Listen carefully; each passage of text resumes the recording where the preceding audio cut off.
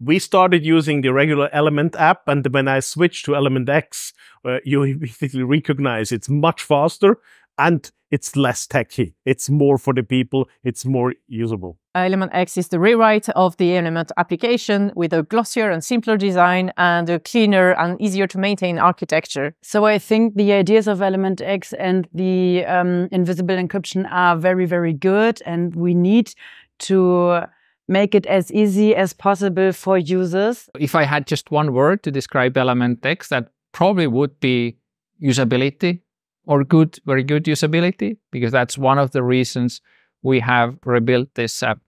The features are great. It's, it's much faster and, and more easy to use. And therefore, I think uh, it will be the default messaging client uh, to come to use for Matrix. Project we're working on uh, with Tchap is uh, first migrating to Element X. Uh, we're going to build Tchap X because we're a fork of Element. The best word to describe Element X for me is light.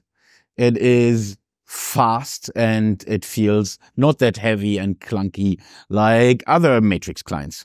The refined design in Element X uh, it makes it a pleasure to use. And frankly, I no longer feel like I'm using uh, some off-brand uh, free and open source tool. I feel like this is a professional messenger. With the new UI of Element X, things will become more easy, more quick, and communication will, will become even faster and more comfortable. Element X is very intuitive. As an instant messaging app, it's very smooth.